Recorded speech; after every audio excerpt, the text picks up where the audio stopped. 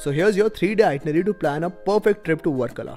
So first day starts with exploring the beaches of Varkala, that is Varkala beach, the Odayam beach, and the Black Sand Beach. You can also visit the North Cliff to explore the best cafes in Varkala. On the second day, you go for an early morning surfing session at the Kapil Beach. Then you come back to the North Cliff to have a tasty meal and in the evening, you have to visit Jatayu's Earth Center which is about an hour or two drive away from Varkala.